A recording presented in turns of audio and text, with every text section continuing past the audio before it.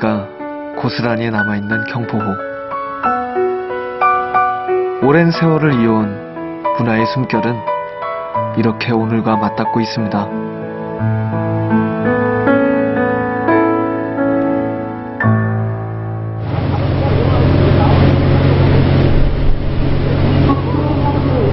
강릉의 북쪽 끝 주문지는 500여 척의 어선이 정박할 수 있는 동해 최대 어항인데요. 짭조름하고 비릿한 바다 내음이 코끝으로 스며드는 이곳엔 볼거리와 먹을거리가 넘쳐납니다.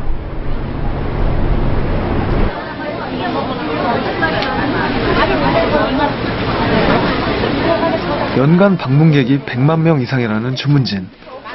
바다에서 갓 잡아올린 싱싱한 수산물을 저렴한 값에 살 수 있어 1년 내내 사람들의 발길이 끊이질 않습니다.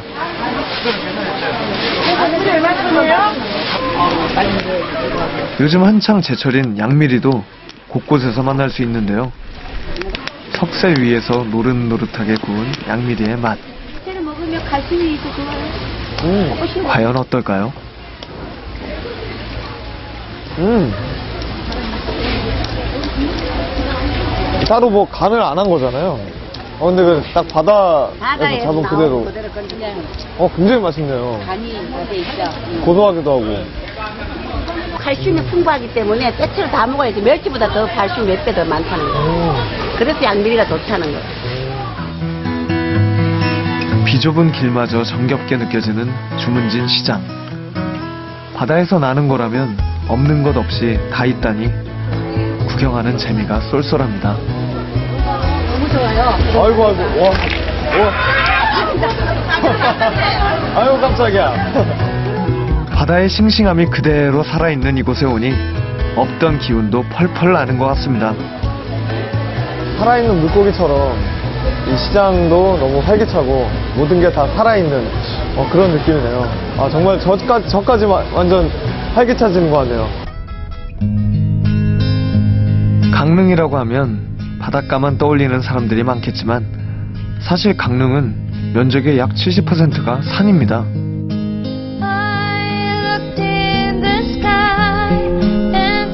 해발 1000m가 넘는 험준한 산들이 에워싼 이곳에서도 오대산 소금강은 천하 명승으로 꼽히는데요. 조선의 대학자 율곡 이이 선생이 이곳을 보고 빼어난 경관이 작은 금강산 같다고 하여 서금강이란 이름을 붙였다고 합니다.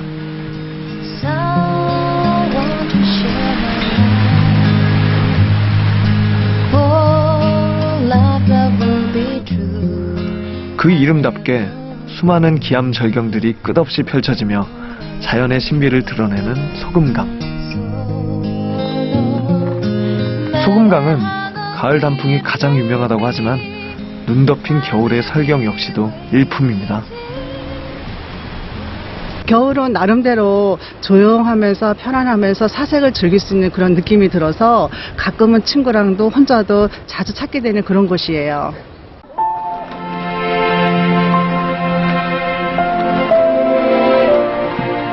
등반객들이 잠시 걸음을 쉬어가는 이곳은 식당암이라고 부르는데요.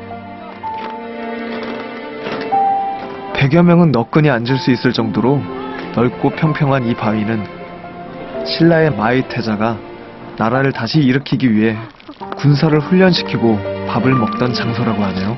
이건요 바위가 이렇게 넓, 널찍해가지고 너럭바위 돼가지고 아주 밥 먹기가 좋아요. 그래서 이렇게 삥 둘러 앉아가지고 그래서 아주 밥 맛있게 먹고 그리고 이거 구경하고 이렇게 했었죠. 네. 아주 옛날 생각이 나네요.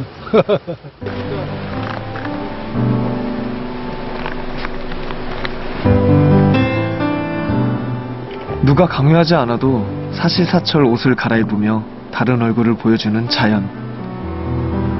마치 한 폭의 산수와 같은 절경에 지루할 틈이 없습니다.